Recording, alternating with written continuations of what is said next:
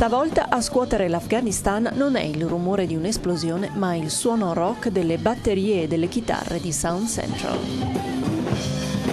Nel paese dove decenni di violenza hanno quasi cancellato la musica, vietata durante il regime dei Taliban, per la prima volta da 30 anni un festival di musica ha portato a Kabul un'atmosfera di festa con spettatori arrivati anche da fuori. Non vedevo un concerto da tempo perché a Kandahar si combatte e ci sono i Taliban, così sono venuto a Kabul per vedere questo concerto. A esibirsi a Kabul con le diverse sfumature del rock sono state band afghane, ma anche di altri paesi.